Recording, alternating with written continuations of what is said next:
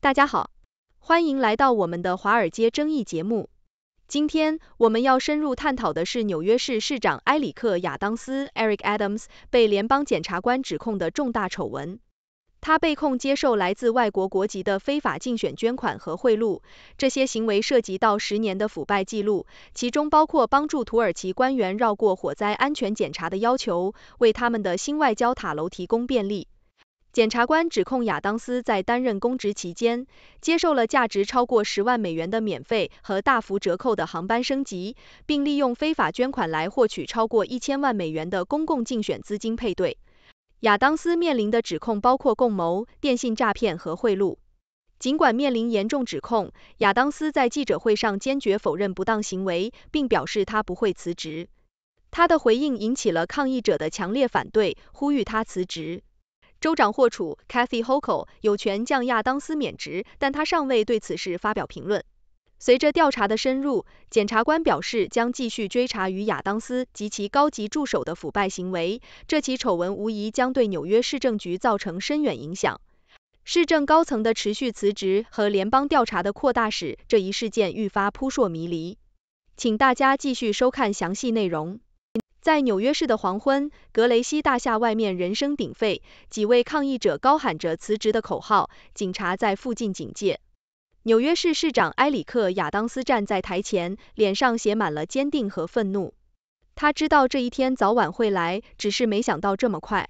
就在几个小时前，联邦调查局的特工闯入他的官邸，搜查他的手机，标志着他长达十年的腐败丑闻正式浮上水面。纽约市长埃里克·亚当斯被联邦检察官指控接受来自外国官员的非法竞选捐款和贿赂，这些贿赂包括奢华的海外旅行。检察官指控亚当斯通过土耳其外交机构的一名为居民官员寻求并接受非法捐款。起诉书称，该官员安排亚当斯及其同伴免费或以折扣价乘坐土耳其国家航空公司的航班，前往法国、中国、斯里兰卡、印度、匈牙利和土耳其等地。亚当斯被控阴谋、电信诈欺和贿赂等五项罪名，这些罪行从他在布鲁克林担任选举官员时就开始了，并一直延续到他出任市长。曼哈顿的美国检察官达米安·威廉姆斯在新闻发布会上表示，亚当斯出卖了他的影响力，帮助土耳其官员绕过纽约市一栋新的外交大楼的消防检查。亚当斯让公众长期蒙在鼓里，未能披露他所接受的礼物，这是一项严重的失职。美国检察官补充道。根据起诉书，亚当斯接受了价值超过十万美元的免费和大幅折扣的飞行升级，以及来自稻草人的竞选捐款，其中一些捐款帮助他获得了超过一千万美元的公共竞选资金。这一天对亚当斯来说无疑是痛苦的，但他在记者会上强调自己无辜，并表示不会辞职。他说：“这是一个不幸的日子，但同时也是一个揭开真相的日子。我期待着为自己辩护。”亚当斯旁边站着几位杰出的黑人神职人员。这位纽约市第二位黑人市长指责联邦检察官在公众面前审判他，泄露调查信息。纽约州州长凯西·霍楚尔有权罢免亚当斯，但他的发言人阿维斯莫尔表示，目前发表评论还为时过早。霍楚尔在指控宣布后告诉记者，他稍后会发表看法。如果亚当斯辞职，进步派民主党员、公众倡导者朱马恩·威廉斯将立即接任市长，随后将安排特别选举。朱马恩·威廉斯在一份声明中没有明确要求亚当斯辞职，但他表示，亚当斯展示自己能有效治理和重新获得市民信任的时间正在迅速耗尽。根据检察官的指控，亚当斯通过土耳其外交机构的一名为居民官员寻求并接受了非法捐款。这名官员安排了亚当斯及其同伴乘坐土耳其国家航空公司的免费或折扣旅行，目的地包括法国、中国、斯里兰卡、印度、匈牙利和土耳其。亚当斯在二零二一年九月被告知是时候回报土耳其官员的捐款和福利，请他施压消防部门，以便在土耳其总统高调访问前，能不经消防检查就开放领事馆。即便消防部门官员警告说领事馆建筑存在重大缺陷，不适合使用，亚当斯仍然施压让其开放。几天后，亚当斯向土耳其官员传达了批准的消息。该官员称亚当斯是土耳其的真正朋友。亚当斯回应：“你是我的兄弟，我在这里帮助你。”几个月后，土耳其官员要求亚当斯在四月纪念日前不要发表关于亚美尼亚大屠杀的声明。亚当斯的一名工作人员确认他不会提及该事件，他也确实没有。检察官表示，土耳其政府否认1915年杀害约150万亚美尼亚人是种族灭绝。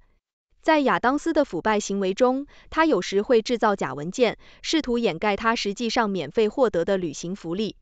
检察官还指控他删除了与其他涉案人员的消息。有一次，他向一名共谋者保证，他总是删除他的短信。指控曝光后的几小时内，FBI 特工进入了市长官邸，并查抄了亚当斯的手机。这是一个充满戏剧性的瞬间。曼哈顿美国检察官在新闻发布会上表示，腐败调查将继续进行。联邦检察官正在进行多项独立的调查，涉及亚当斯及其高级助手、这些助手的亲属、竞选筹款和可能影响警察和消防部门的行为。仅在过去两周内，纽约市的警察局长和学校系统负责人都宣布辞职，成为这场政治风暴中的一部分。亚当斯曾在纽约市警察局工作了二十二年，随后进入政界，先是担任州参议员，后来成为布鲁克林区区长。二零二一年当选为纽约市第二位黑人市长。近一年前，FBI 特工已经查抄了亚当斯的电子设备，作为一项调查的一部分。这项调查至少部分集中在竞选捐款和亚当斯与土耳其政府的互动。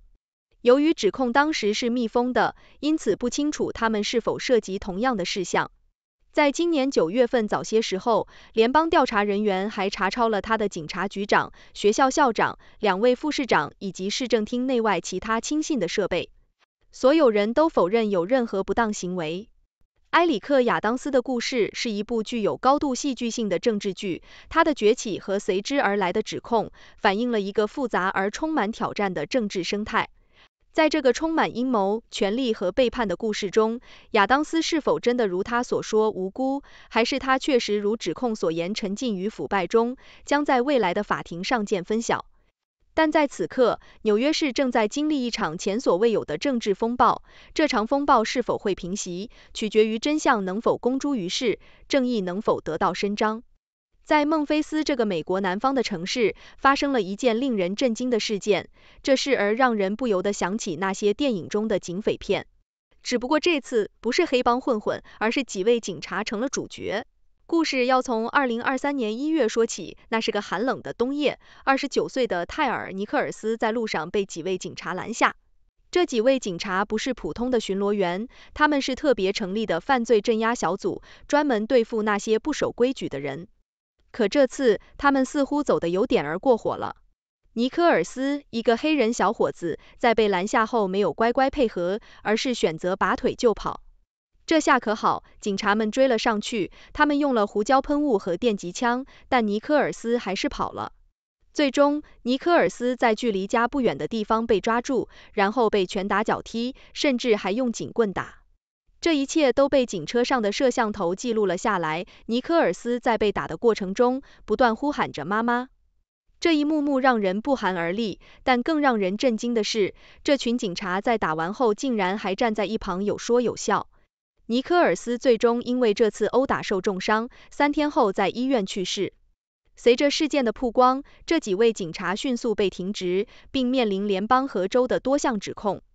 在联邦法庭上，五位警察中的两位，艾米特·马丁三世和德斯蒙德·米尔斯二世，对剥夺尼科尔斯公民权利的指控认罪，并同意作证。FBI 特工安东尼·豪斯霍尔德站在证人席上，他回忆起自己对这些警察的访谈。他说，史密斯和马丁都承认自己打了尼科尔斯。史密斯还说他本应该阻止马丁，但他没有。豪斯霍尔德继续说，史密斯还说他本应该告诉急救医护人员尼科尔斯被打的情况，但他以为尼科尔斯自己会说。另一位警察比恩也承认了责任，他告诉豪斯霍尔德，之前隐瞒了部分打人的细节，因为他不想被视为告密者，他不想把自己的队伍推入火坑。豪斯霍尔德说道。这一切听起来像是某个低劣的犯罪小说，但它却是血淋淋的现实。这些警察们面临的不是简单的职位调动，而是可能的终身监禁。他们在联邦和州法庭上都被控诉，联邦指控包括使用过度武力、未能干预以及通过威胁证人妨碍司法。在法庭上，米尔斯说，他从未见过比恩和史密斯参与所谓的街头税，这是一种对逃跑者实行的惩罚性暴力行为。然而，检察官坚持认为，这次殴打就是街头税的一个例子。米尔斯在法庭上哭了，并表示对尼科尔斯的死感到深深的歉意。他说：“当我看到打人的视频时，我再也忍不住了。这场闹剧般的案件让人看得瞠目结舌，但它背后折射出的问题却不容忽视。这些警察曾是社会的守护者，但他们却在执法过程中失去了理智和人性。尼科尔斯的死更是给我们敲响了一个警钟，提醒我们警察权力的边界和责任。总之，这场事件从头到尾都充满了戏剧性和悲剧性。”在这个故事里，没有英雄，只有一群迷失了方向的执法人员和一个无辜的生命。希望这场审判能给我们带来一些反思，让我们更清晰地认识到，权力需要被监督，正义需要被维护。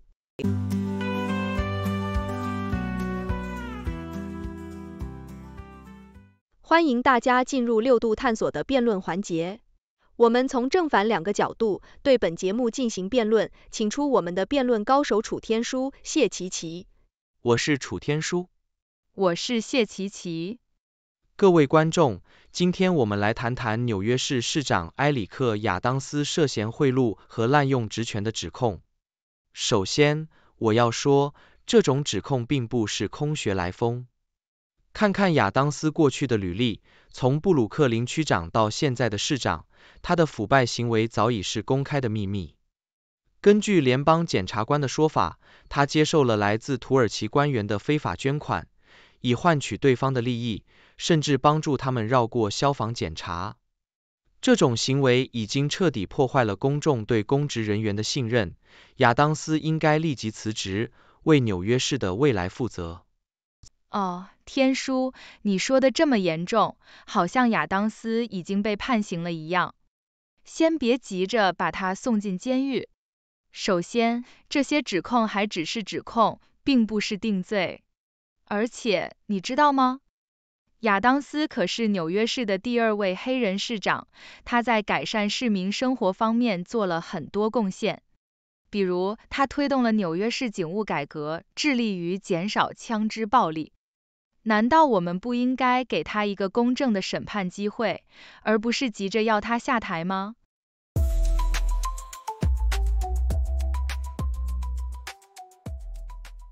谢谢大家收看六度探索。这是一个由科学家、经济学家、媒体人、工程技术人员合作建立的新型媒体。网友与六度 AI 参与合作完成各种内容，这些内容不能作为任何决策或法律的意见。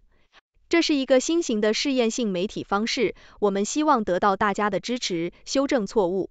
网友可以参与讨论，也可以向万能的六博士提出你能想出的任何问题。六度世界网址是六度 World，请介绍给你的亲朋好友。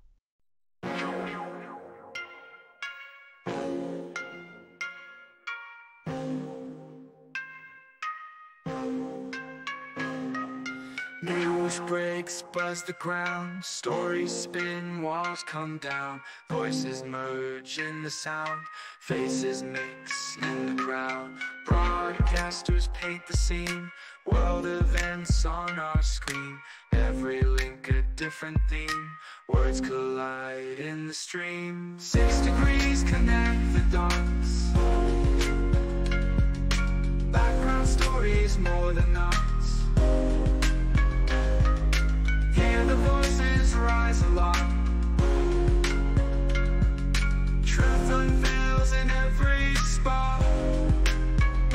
Cultures clash across the globe. Spin the threads in a stroke Every story wears a robe. Truth and lies in their code. Journalists dig real deep. Secrets out, they don't sleep. Every angle they'll keep we take a leap. New perspectives day by day, hidden truths come to play. In the background, shades of gray, every story finds its way.